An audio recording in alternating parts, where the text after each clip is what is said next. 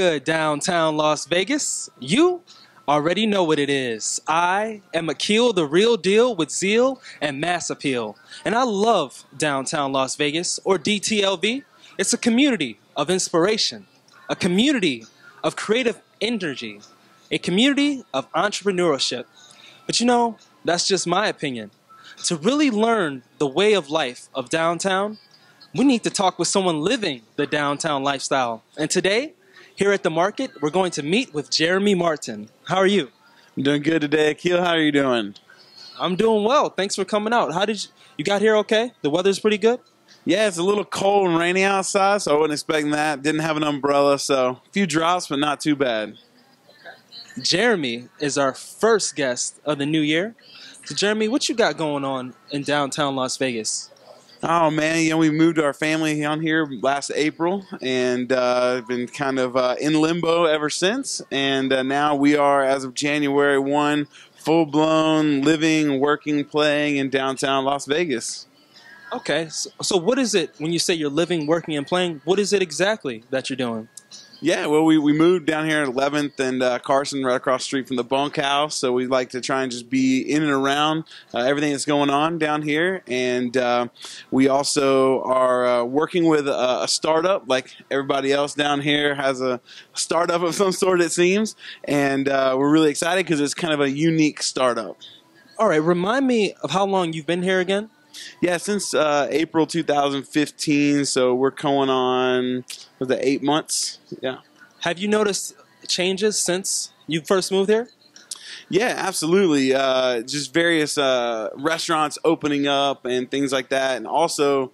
Um, you know, some of the things that I, I didn't realize was down here was a vibrant community already. And so just seeing kind of how that community itself just kind of morphing and growing uh, with things coming and going and uh, just a lot of stuff the Downtown Project has going on and then other people uh, that are just doing things down here, constantly meeting people and uh, just seeing it kind of very fluid where you're not sure what's going to happen next, but something's going to happen.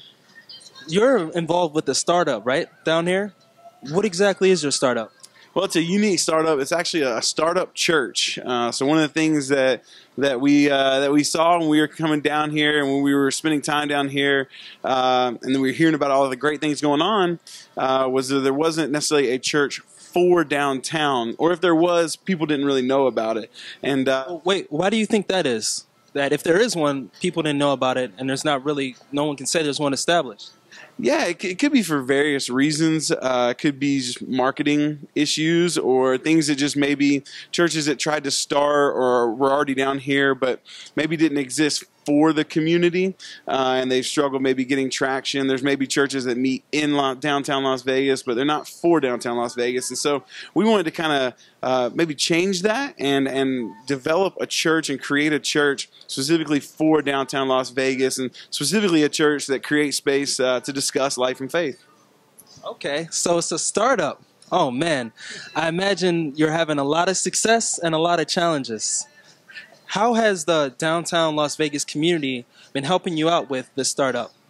Yeah, so uh, success and challenges, yeah, we, we, we see them both each and every day. Um, but one of the things that has been the most surprising is I really thought it would take a while for someone to come down here and say, hey, we want to start a church, and for that to really catch on and for people to think, hey, that's a good idea, uh, and to build a team and to help. But what we've actually seen is uh, almost immediately when we started talking to people about that and kind of dreaming and imagining what it could look like, um, people associated living and working and playing downtown and who love this area uh, just began to show amazing interest and actually help connect us to other people. And one of the biggest one of the biggest things that you need when you're, you're starting something is you need the right kind of people uh, to help you come in and build and create. And uh, I just met so many awesome people that just kind of keep connecting me to other people, and uh, most everyone uh, seems very positive about the idea of, of having a church down here where we can talk about life and faith. That's great. That's one of the things that I like to talk about too. Is community downtown Las Vegas. How willing people are to collaborate with you, and that's a big thing they push. Is how you can walk. This is a walkable city. I walked here today. Did you? Uh, yeah, I actually walked from my place to uh, Work in Progress right down the road where I'm uh, currently working out of. And then uh, right over here to the market. I walked and grabbed lunch today, and I'll walk home after this. And uh, I mean, that's how we meet so many other entrepreneurs, other people that have something crazy going on downtown Las Vegas. And I'm curious, do you have any specific examples where you had a, a random collision like that, where you ran into someone and then you ended up doing a collaborating together? Uh, kind of. Um, one of the man, one of the coolest stories was uh, years ago when I guess Zappos was first moving down here. I met kind of the project manager for for the move uh, down to City Hall. I met him on a plane, and uh, really great guy, cast vision for the community they wanted to create down here uh, with Zappos and also the downtown project. And that was kind of the first seed that was kind of planted in my heart to say, hey, something's going on in the city that you love. And uh, so when we first moved down here, like I said last April, um, yeah, I hadn't talked to him since I was on a plane next to him in 2011, 2012, something like that. And uh, I was walking home from the Public Us right around the corner. I live on the same block. And uh, I was coming around the corner and I see him standing on the corner. And I was like, I said his name and, and he was like, oh, and he remembered me and, and he started we started talking and, and I was like, yeah, I live right there. He's like, oh, I live right across the driveway from you and and it was really cool because um, he actually is one of the, the co-founders of Work in Progress, which is a place where I'm going where other startups are kind of um, connecting and, and working out of, and we're able to kind of work out of there as well and utilize that resource. And he kind of connected me to that, and then uh, actually just talking to him today about just kind of more ways to um, to connect and, and help us get started. Real quick, will you tell us a little bit more about Work in Progress? Because I've been there myself when I wanted to do work.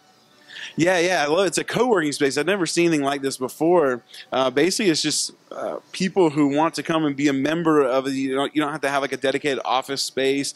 Uh, it's kind of open air, which I love. You kind of got the energy where you hear what's going on with other people, and uh, and and then there's there's also just this atmosphere of wanting to create community and help each other. You got people there with big ideas and with big brains, and uh, sometimes I feel like the dumbest person in the room when I see what other people got going on, and and uh, it's just fantastic. And so it's a great um, office environment. And for us, I know it was one of the things that that my advisory team, uh, as I was looking at budgeting and spending money and, and how we want to do that, one of the first things they said is like, yes, you should go to a place like that and work out of there um, because of the relationships, the connections connections that you'll be able to make out of there. And so it's uh, today was actually my first day as an official member, and uh, really excited about the future there, continuing to meet people and connect downtown.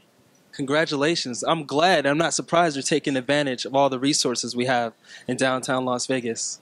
Yeah.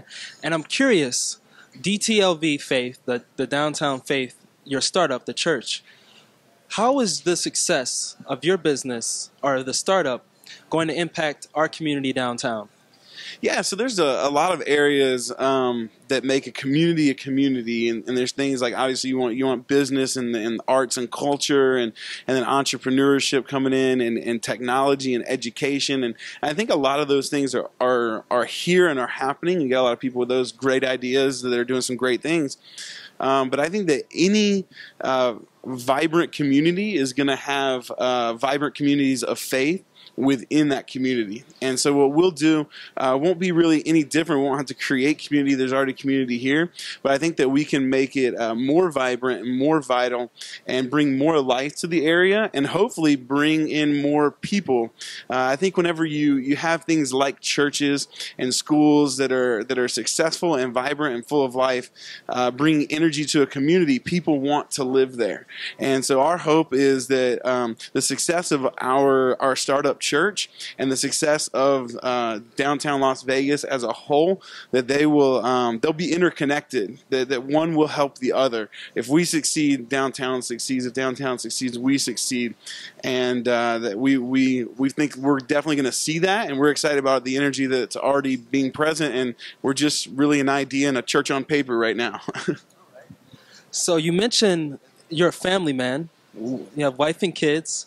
What is it because a lot of people are hesitant about coming downtown because of of what it's famous for in the past of the crime, maybe not having a lot of places to shop to get resources, But what is it that brought you to downtown Las Vegas? And do you recommend now that you're here living with a family in this area? You recommend it to people? Oh, absolutely. I tell people all the time, and, and we actually have friends that are kind of are moving are in the process of moving down here to to join us and be a part of what we're doing because they've seen our life and thought to themselves, oh well, it's not so crazy. And, and actually, the husband and the family he he grew up in this area back when it, wasn't as as uh, up and coming, and and he he loves this area, and so yeah, when we when we told actually the church that we were at before that we were that we were going to be leaving and coming to downtown Las Vegas, there was a collective groan like, oh, why would people do? Why would you do that with your family? And my wife was pregnant, uh, you know, with a new baby, and and you know I kind of just laugh because I I think there's certainly a misconception of what it's like down here, and so one of the things that I want to do is through the process of of building a team and bringing people down here, and, and certainly uh, starting a church, is to show people this is a place um, where individuals and families can come and live a vibrant, exciting life, and pursue their passions, and pursue uh, the the the meaning that they want. Uh, that they can find in their life, and uh, I I can't find a better place. I mean, where else can can my two year old son every day see a giant robot praying mantis? He calls it the big bug, and when we drive home, if we're somewhere out, we have to drive by the big bug so he can roll the window down, he can blow it a kiss, he can say hello, and uh, just think things like that to me make this an exciting place to live in, and really a one of a kind place to live. And I would highly recommend everybody come down here and be a part of it, live your passion here in downtown. Thank you. I, I agree, and I'm totally biased, but I love it here. And the the things that you mentioned aren't necessarily the same things I would from family's point of view. But I do appreciate the the praying mantis at the container park, but also appreciate, like you said, work in progress and being able to meet so many like-minded, business-motivated people. All right, Jeremy. Thank you again for the time meeting with me at the market. If you want to learn more, and I know you do, about Jeremy and the Downtown Faith, check him out at dtlvfaith.com. Also, check out the Downtown Faith podcast discussion on the website and follow him on social media at DTLV Faith.